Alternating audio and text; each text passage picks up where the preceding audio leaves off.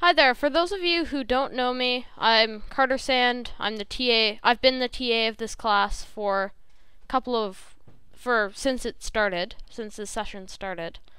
And I'm also the co-author of a book called Hello World: Computer Programming for Kids, which uses a lang- which uses Python just like I'm going to be teaching. So today I'm going to be teaching about functions. And functions in Python are just like little snippets of code that you can run as many times as you want and you give them a name. But, you know, it's boring just for me to tell you about them. How about I show you? Let's make a function like say, no, not def. Let's make it, let's call it say hi. Let's go print hello there.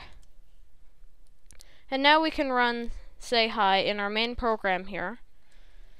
And now this should print hello there. Yes, it does, because basically what happened here was when we called say hi by typing it in the brackets like any normal Python function, it executed the code inside here, which in this case printed hello there.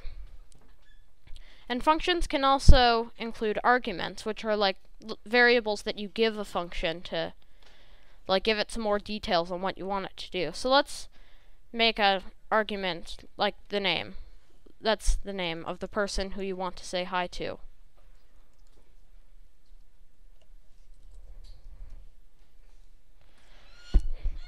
So now it should say, so who should we say hello to?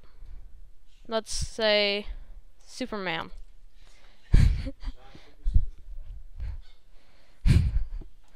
we can also we can also call this function multiple times. So let's say hi to Bob. Yeah, and does anyone have suggestions on people we should say hello to? John. Ryan. And John. So now this should say hello to a whole bunch of people.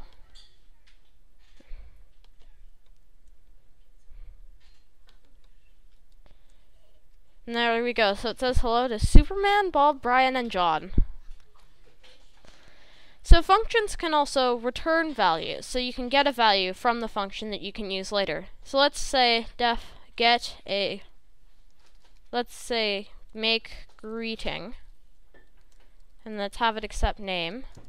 And now we can use the return to make it return a value.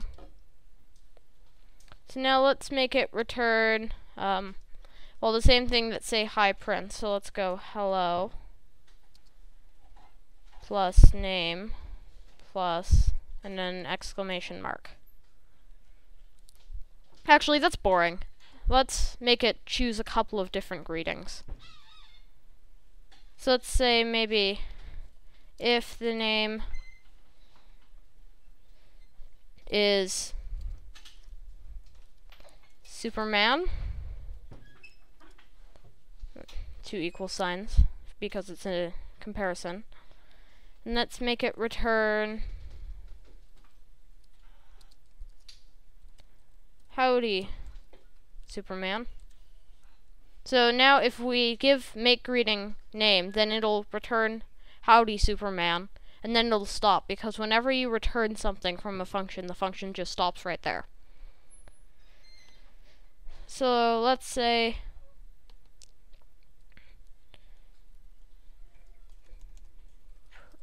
print make greeting Superman. So now we're taking the value that make greeting returns here, and then we're just printing it. We aren't doing anything else with it. Howdy, Superman. You can see that worked there. And functions can also call other functions. So in, let's say in say hi here, we can say make greeting name. So now, whenever we say hi to Bob, whenever we say hi Bob here, it will call the make greeting function with Bob, and then it'll take whatever that returns, and then it'll print it. So let's see if that still works. So because the function called make greeting, everything still works. And you can use functions in a variety of ways. Like we did here, you can use them to reuse code. You can call them from anywhere in your program after you've defined it. And yeah, there you go. There are functions. You can also make a function call itself, and that's called recursion. We've been over that before. The tree, for example. Yeah, like the tree. Mr. Pont talks about that is recursion. Tree function called itself. Yeah, You can just. Oh, never mind. Yeah.